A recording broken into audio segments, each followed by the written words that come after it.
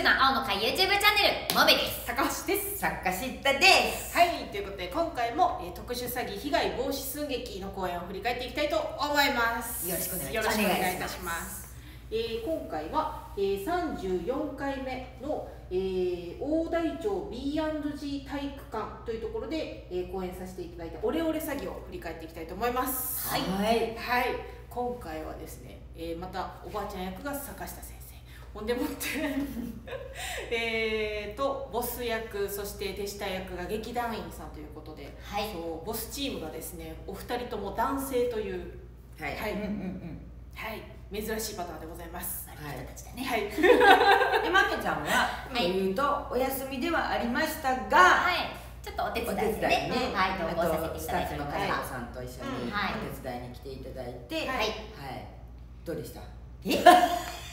バーンって投げこれまたま投げバーンって投げてもらったよ。全部丸えっとこれどうで綺麗な丸投げってやつ。バーンって。したって。体育館ですよいねやもう一回同じことを繰り返すあはいあはい体育館でしたはいあのねあのすごい朝早かったじゃないですかうんめち出ゃくちゃ早かったっす。公演時間がねね。10時からっていう話だったんで、うそう早く。んね朝何時でもいいよってね最初ね。そう そう。そうなんやそう。そうそうなんですね。そう。入り時間が結構ね早くて。そうそう。7時だったかな7時入りだったんで。そうそう。なんかすごいあの爽やかな感じがしました。あのねすごい朝寒かったんですよ。ねあのうん当日の朝、うんあもうこんなに季節が進んじゃってと思って、うん。なんかねそんなのこう体感しながら向かった会場やったんで、うん。また会場がすごい自然いっぱいのところだったんで、うん。なんかすごい秋を感じましたね、ねすがすがしい感じの秋の朝みたいなそうそうそうそう。感じでしたねなんかそれがすごい印象的、まあ。うん。あの涼しかったですね。であのドアを開けてうん換気もねされてうんすごいドアをバーッと開けて見えたので涼しいっていうか爽やかな。ぐらいうん。本当に。風が吹き抜けてあの過ごしやすい日でしたねうん。本当に。うん。であの川が隣に。そう。そうそうリバーってなんで急に言われた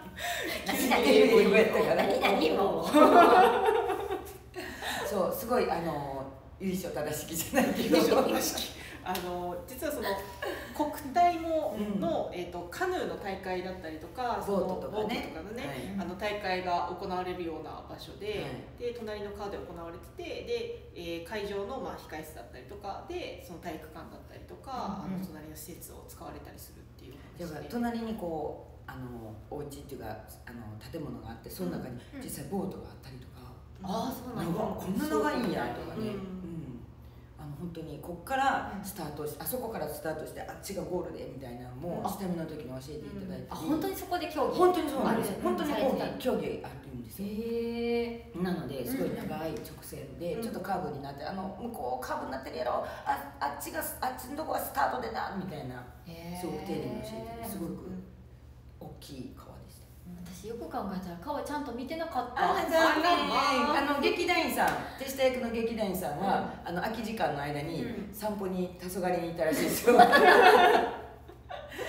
ょっとお手洗い行ってきますって帰ってこやんなどうえしたやなろなと思ったらいたみたいな。あゆみちゃんが発見したそうです。あそう黄昏出たそうです。川沿いで。あれ？っていやあれはでもすごく、ん。あなんかい痛くなるそう場所ですね、うん。ずっと痛くなる、うんああいいんだそそこにそこにねそこにとどまりたくなる。うんそうあのそう木木とかもね桜？そう桜並木がちょうど体育館のこうちょっと先にあって、ええーそうそこでお花見もできるんですよって教えていただいたり。わあやりたいねお花見ね。青々としてたんですよまた私たちが行った時は。足だけでうん。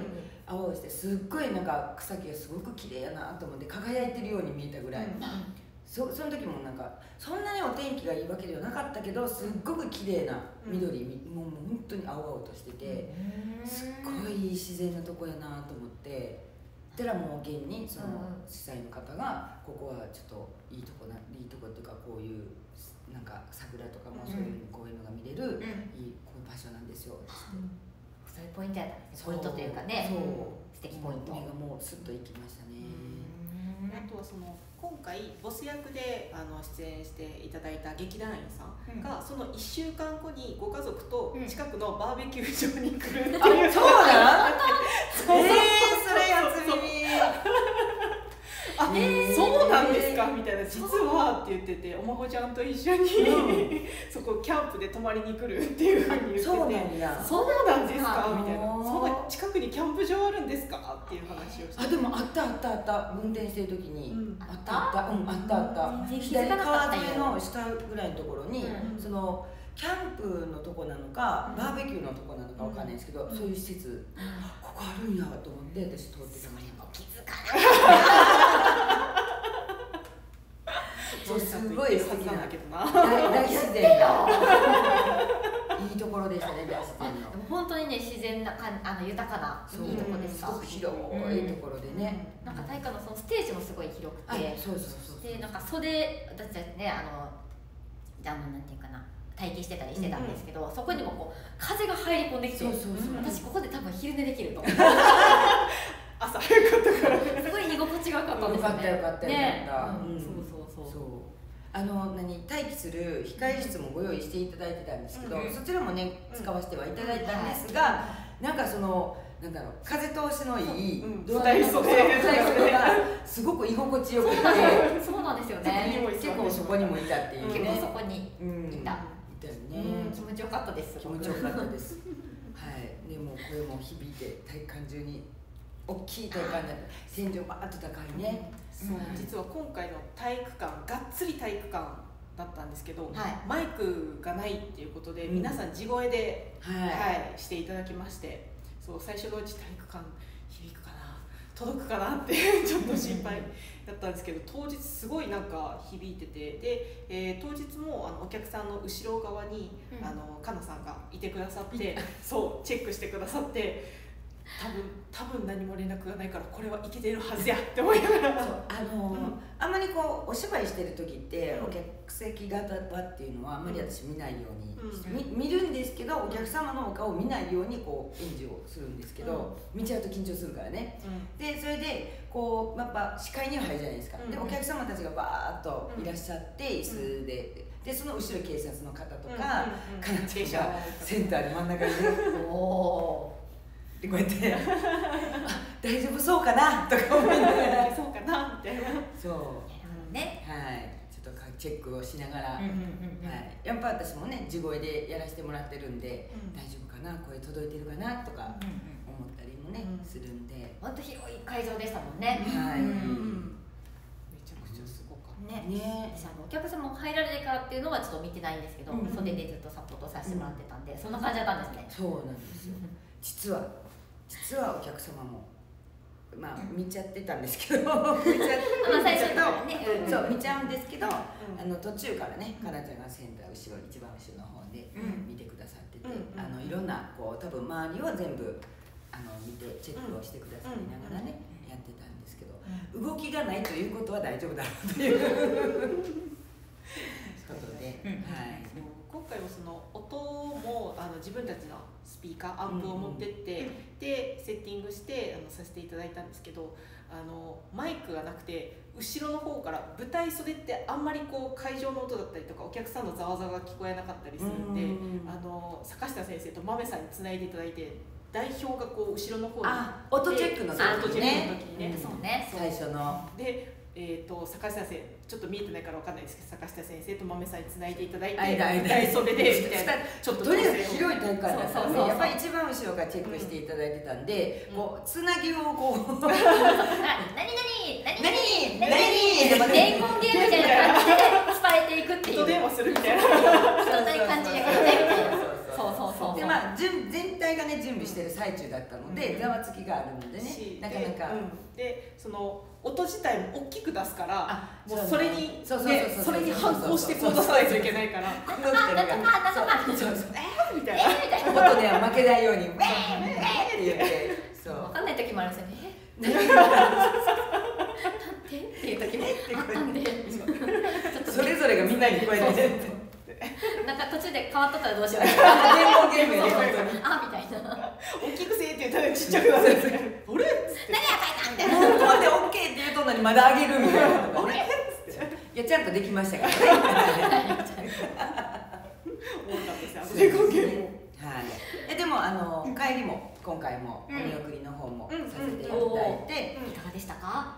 あのね、うん。やっぱ皆様あのやっぱやっぱお顔を見てご挨拶してくださる方々うん。すごく嬉しいじゃないですか。嬉しい。めっちゃ嬉しいです、ね。あのなのであのお顔を見て「うん。あよかったよ」って言って、うん。であのなんて書いてえっとねみんなメみモメモさっきメモ。もう毎回ね忘れちゃうのでちゃんとメモしてるんですけど「身に染みた」はい。とか「あの迫力あった」とかやっぱり言ってくださってるっていうことが。ね少しでも伝わってる。身に染みたってうん。めっちゃ嬉しくって、うん。はい、であとねもう最後帰り際最後残られてなんか警察の方とうん。なんかこう打ち合わせがなんかお話しされてた方が最後いらっしゃったんですけど、うん。その方が帰り際こう、うん。ご挨拶来てくだうん。客に来てくださって、うん。ありがとうございましたって言ったら「いや本当よかった」って、もう見に来てよかったよ」って言ってであとねまた2月にもお呼びしてるんで、もうその時を本当楽もうね、もうね、もう嬉しくって。本当ですね。はい。もう今度はもっともっと進化した。そうそうそうねのちょっと見ていただきたいっていう気持ちに、そうなりますね。もっともっと自分も精進して、うもう本当に実際に会われた方々に添えるような、あのお芝居ができるようにねうん。ちょっと頑張ってもっと鍛錬していきたいなと思いましたね、うん2月に、まあ、2月まだまだ公演がね、はい。あるんですけど、うん。まあ、そう言ってくださるお客様もい。らっしゃるので、うん。もうとにかくでそしてもっとそうやって言ってくださるお客様も増えていただきたいし、ととにかくどっかに焼き付けていただけるようにそうね。したいなと、うん。ね。刻んでいただきたいね、はい、うん少しでも刻んでいただけるとはい。嬉しい。し、はい。頑張りましょう。はい。はいということでまたね公演を通して少しでも、えー特殊詐欺の被害が少なくなるようなお手伝いがさせていただけたらなというふうに思っております。はい、今回もありがとうございました。ありがとうございま演劇集団青の会 YouTube チャンネル。最後までご視聴ありがとうございました。チャンネル登録高評価よろしくお願いします。